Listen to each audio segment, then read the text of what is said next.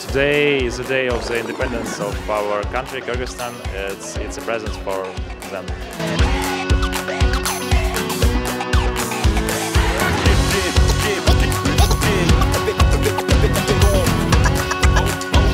Uh, I don't think we really have any expectations. We're just kind of playing and having fun and taking it round by round.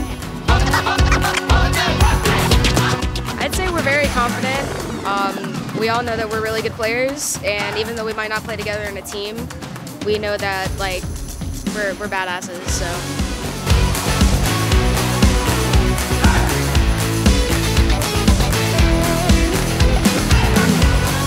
Uh, Let's go. Please keep supporting us. We love you all.